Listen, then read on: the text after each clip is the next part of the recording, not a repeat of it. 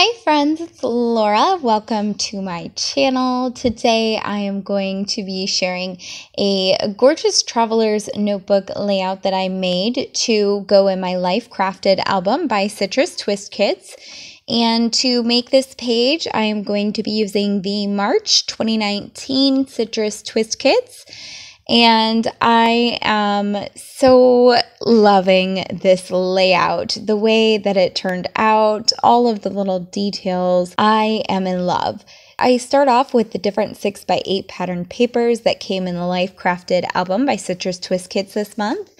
And I wasn't loving any of the colors with my photograph because my photograph is really subdued. It's mostly black and white, and then it's got a little bit of tan and creamy colors in it where he's sitting on the windowsill. So I didn't love any of those bright colored pattern paper backgrounds. So I decided I would make my own using the stamps that came in the kits this month. And I especially love how a lot of the phrases are really honest ones. They're meant to document your life in all of its seasons. So, not just the good stuff, but the bad stuff. And this particular thing that I am documenting was when my cat first got sick last year and was diagnosed with kidney disease.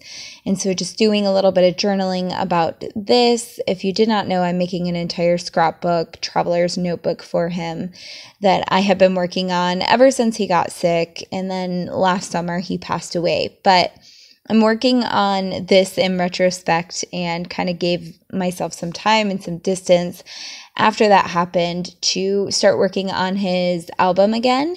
And so that's what I'm doing today. And a lot of these little sentiments on the stamps are perfect for what I'm going to be talking about in my journaling in this layout.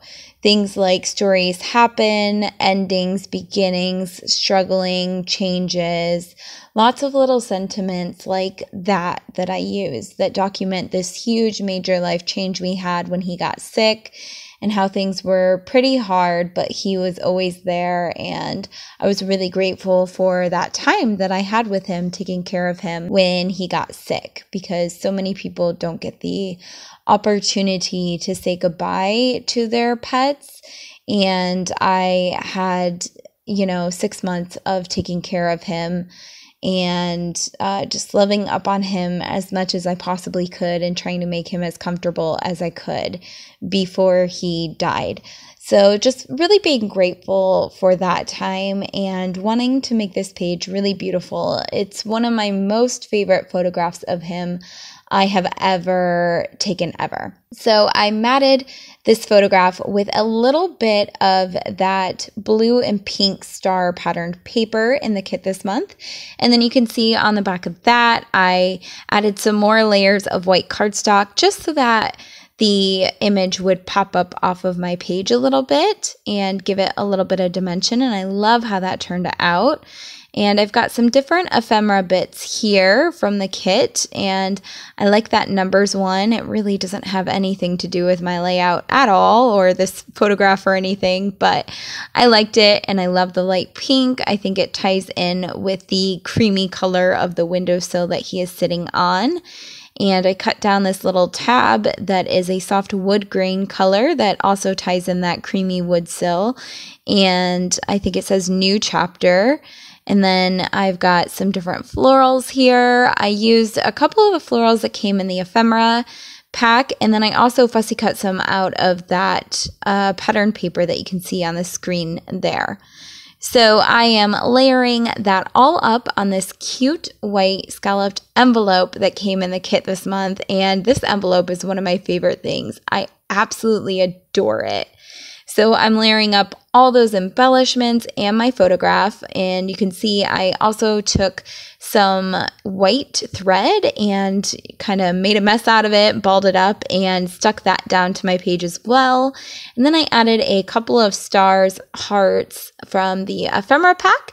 And I finished off that embellishing by adding that chipboard light pink circle that says always. And I love that because I love my cat and he will always be in my heart and he will always be, you know, probably the animal I've had the longest. I had him half of my life. Um, So, yeah, just always in my heart, always loving him, always thinking about him.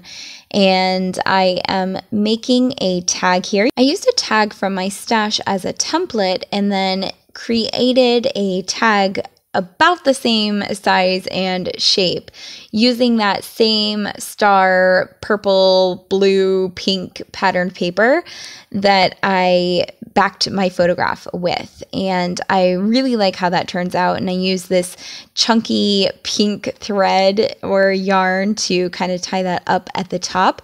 And that is where I'm going to put a lot of my journaling about this time that I was going through and just about my cat and how much I loved him. And uh, actually, most of this particular journaling is going to be right when he first got sick. So when we were at the vet and I was finding out he was sick. And I'm using that stamp kit again. Oh my gosh, the fonts are just incredible and I love the phrases. And you can see I got a little bit messy with my stamping there and kind of smudged a little. So I am just creating this hand drawn border around my tag and that's going to give it a fun messy look that makes the stamping look uh, kind of like it was meant to be that way and not like I very obviously messed up. I think. I don't know. Uh, maybe to other people it looks like I messed up, but I like it once I outline it. And I think a good hand drawn border can fix most things in a layout if it just doesn't look complete. So I am doing that for my base, and then I'm doing the journaling about the day we are in the vet, and I found out uh, he had a terminal illness.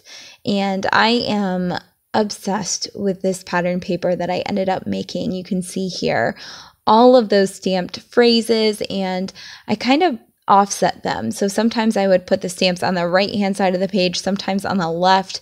And then at the very end, when my blocks of stamps didn't fill up the whole thing, I went and put in a couple of individual phrases to fill up some of the empty spaces I had when stamping.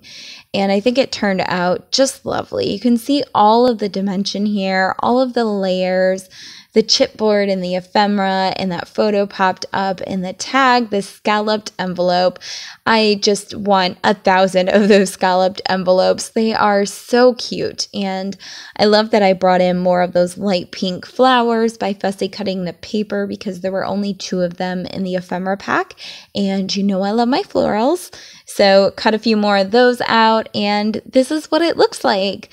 So I hope you have enjoyed seeing how this layout came together. I am loving working on this album of my kitten, and I hope you enjoy seeing how I have used this month's Citrus Twist Kits. And make sure to check them out. I will link the blog post for this layout down below if you want to Pinterest some images. Give me a follow on YouTube so you don't miss any of my fun projects. And I will also link my crafty e-courses down below if you want to get crafty with me. I'll catch you in the next video. Bye.